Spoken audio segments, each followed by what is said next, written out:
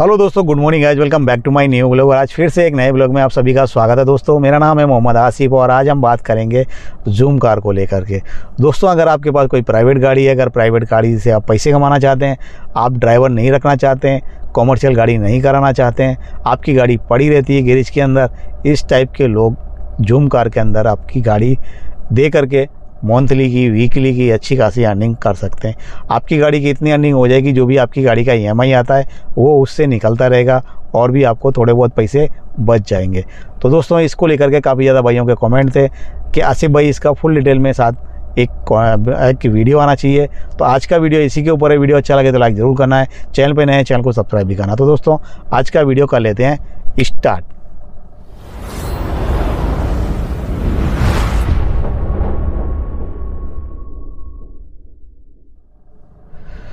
दोस्तों, सबसे पहले बात कर लूँ मैं जूम कार की। जूम कार क्या है? जूम कार कैसे काम करता है?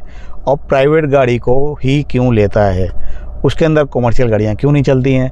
और जो लोगों के प्राइवेट गाड़ी वालों के ज़्यादातर क्वेश्चन रहते हैं कि मेरी प्राइवेट गाड़ी है। एक भी कल मेरे को एक भाई ने कमेंट किया था कि आसिफ भाई, मुझे सवारी में गाड़ी लगानी है।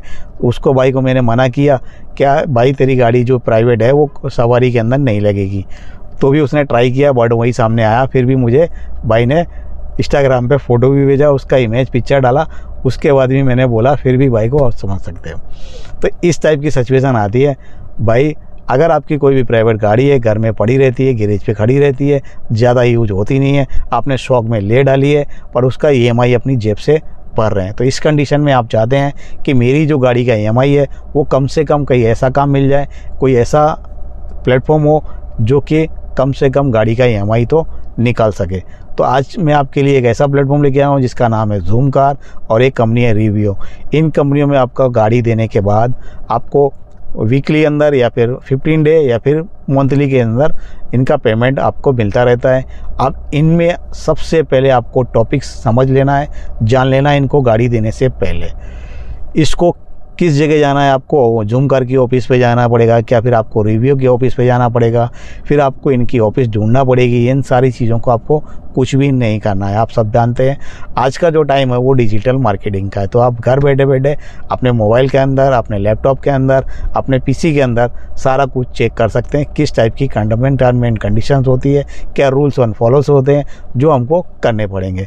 तो यहाँ पर मैं आपको बता दूँ, आप गूगल प्ले स्टोर पर जाएँगे, वहाँ पर आपको जूम कार होस्ट नाम की एक एप्लीकेशन मिलेगी जूम कार होस्ट उस एप्लीकेशन को डाउनलोड करने के बाद आपको अपना नाम मोबाइल नंबर मेल आईडी अपना अकाउंट साइनअप कर लेना है।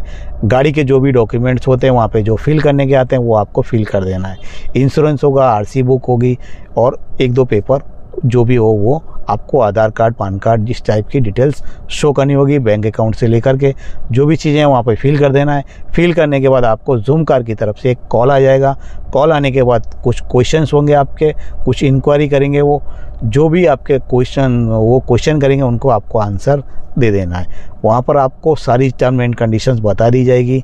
उसके बाद उनका एक बंदा आएगा, आपके लोकेशन पे, आपके एड्रेस पे, आपके घर के पास, जहाँ भी आप रहते हैं, जो भी आप उस एप्लीकेशन में आपका अपना एड्रेस फिल करेंगे, वहाँ पर वो बंदा आ जाएगा आपकी गाड़ी का इन्फेक्शन करने के लिए। गाड़ी का इन्फेक्शन करने के बाद आप अगर एग्री होते हैं, रेडी होते हैं गाड़ी अपनी देने के लिए तो वहाँ पर आपके गाड़ी के अंदर एक जीपीएस डिवाइस और एक कंट्रोल डिवाइस गाड़ी के अंदर फिट कर देंगे। फिटिंग करने के बाद आपकी जो आपके अंदर जो मोबाइल के अंदर आप जो एप्लीकेशन होगी वो आपकी गाड़ी को कंट्रोल करेगी। कंट्रोल करने का मतलब ये है कि आप जब अपनी गाड़ी लिस्ट करेंगे किसी को रेंट पे देना है तब आप अपनी गाड़ी उनकी टर्म एंड कंडीशन के हिसाब से। आप अपने हिसाब से नहीं कर सकते। अपने हिसाब से आपको पहले ही बताना होगा, जैसे कि आपको ट्रिप पे जाना है, कहीं पर आपको जाना है, एक दिन, दो दिन, चार दिन के लिए कहीं जाना है, तब आपको ये चीज़ पहले ही इन्फॉर्म करनी होगी कि हमें अपनी गाड़ी को दो दिन के, तीन दिन के लिए हमको कहीं ट्रिप पे जाना है, अपनी गाड़ी को लेकर के। तो इस टाइम पे हम अपनी गाड़ी को एक्टिवेट नहीं करेंगे, वहाँ पर लिस्ट नहीं करेंगे। तो वहाँ पर आपको एक एक लिस्ट आपको परमिशन आएगी तो उस परमिशन को आप एक्सेप्ट कर सकते हैं। दूसरी एक बात कर लूँ, यहाँ पर आपको पेमेंट की, कि आपको payment term and conditions rules and follow सारी कुछ आपको चेक कर लेनी है। आपको अच्छा लगता है, आप अपनी गाड़ी देना चाहते हैं तो आप दे सकते हैं बट आपको अच्छा नहीं लगता है तो आपकी गाड़ी आपको नहीं देनी है।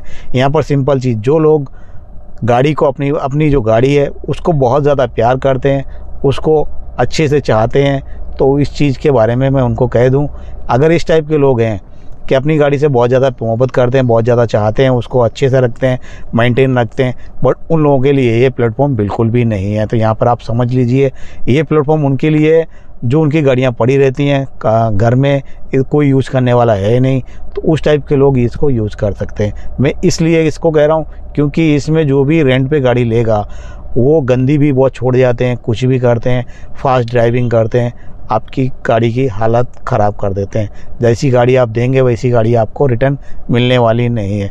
ये चीज़ मैंने पहले वाली वीडियो में बताया था कि उसके अंदर रूल्स ऑन फॉलो सारी कुछ चीज़ें चेंज हो चुकी हैं। कंपनी कोई भी आती है, पहले बहुत अच्छा अच्छा करती है, बाद में सिचुएशन चेंज हो जाती है। ये चीज़ आप बहुत अच्छे से जानते हैं। यहाँ पर आपकी जो गाड़ी है ना उसकी टर्म एंड कंडीशन अगर गाड़ी की कुछ भी एक्सीडेंट होता है एनी वे कुछ भी एक सिंपल तरीके समझ लीजिए, एक एग्ज़ाम्पल के तौर पे, अगर आपकी गाड़ी का एक्सीडेंट होता है या स्क्रैच पड़ जाते हैं तो वो जो काम होगा ना, या तो आपको जूम कर करा के देगी, या तो जो काम होगा वो इंश्योरेंस के थ्रू ही होगा। अगर जूम कार भी कराएगी, तब भी इंश्योरेंस के थ्रू होगा। अगर आप कराएँगे, तब भी आपको इंश्योरेंस के थ्रू ही कराना है। तो उसमें टर्म एंड कंडीशन मैं आपको पहले बोल रहा हूँ, फिर बोल रहा हूँ। Term and condition policy and follow rules सबके हर गाड़ी पे डिफरेंटली होते हैं। आप अपनी पॉलिसी ज़रूर चेक कर लें, क्या रूल्स हैं, क्या टर्म एंड कंडीशन है, उसको चेक करे बिना आपको नहीं देनी है।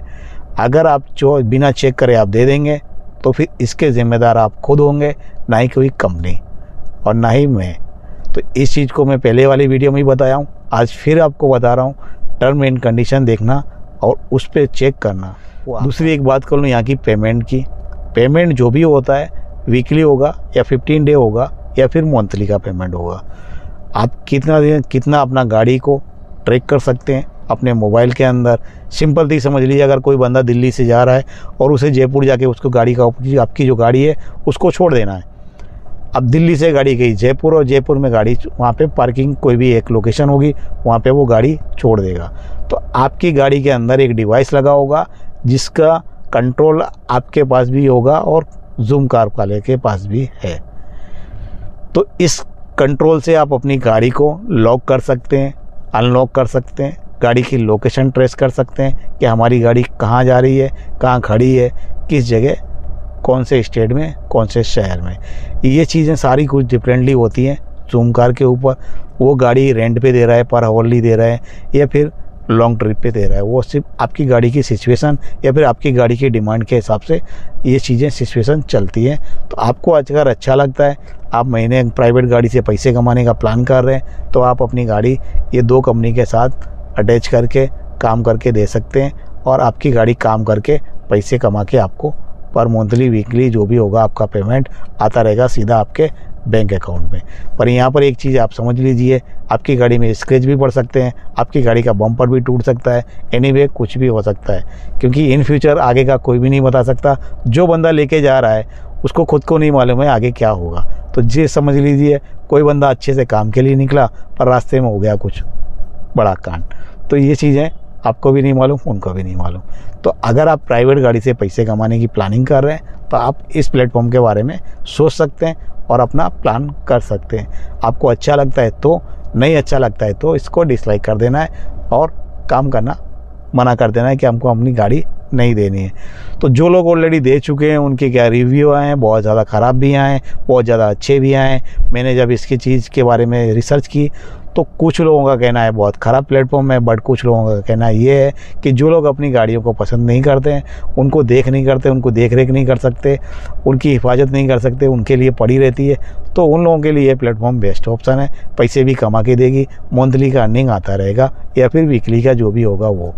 एक घंटे के हिसाब से पेमेंट होता है। लॉन्ग रूट पर ही गाड़ियाँ जाती है, उसके हिसाब से अलग अलग चार्जेस होते हैं। छोटी गाड़ी में पच्चीस रुपये बड़ी गाड़ी का सेडन का पैंतीस रुपये और एसयूवी गाड़ी का पैंतालीस रुपये मैक्सिमम पर आवर आपको रेंट मिलता है। एक घंटे का। ये डिफरेंटली हो सकते हैं सीज़न बाई सीज़न डिमांड के हिसाब से आपकी गाड़ी किस कंडीशन की है, कितने मॉडल की है, कितनी पुरानी है, इन सारी चीज़ों के बाद आपको एक प्राइस रेटर चेंजेस होते रहते हैं। आप आराम से आप मंथली का मैक्सिमम बीस से पच्चीस हज़ार रुपये पंद्रह से बीस हज़ार तो मैक्सिमम आप निकाल ही सकते हैं। और इतना ही गाड़ी का आपका ईएमआई आएगा।